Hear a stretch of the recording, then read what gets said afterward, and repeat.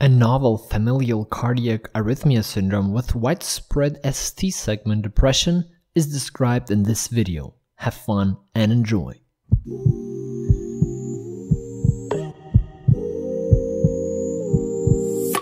In November 2018, Henning Bundgaard and co-authors described the new electrocardiographic pattern associated with the sudden cardiac death.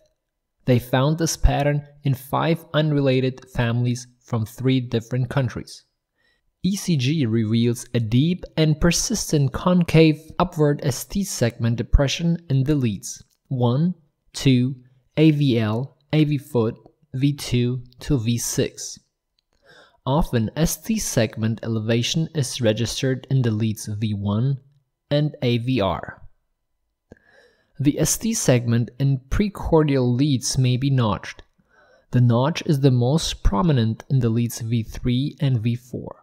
The ECG changes are permanent and are worsened upon exercise. This ECG pattern was being registered even in a child of 6 years of age. The atrial fibrillation develops frequently in such patients and in few years ventricular tachycardia or ventricular fibrillation develop, leading to sudden cardiac death.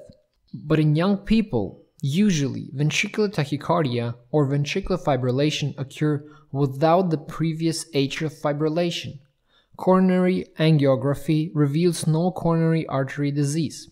Systolic ventricular function usually is normal, but sometimes the mild ventricular dysfunction may be found.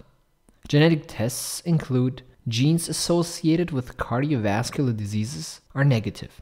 Studying the genealogy of affected patients, an autosomal dominant pattern was identified. Often, relatives have similar ECG changes.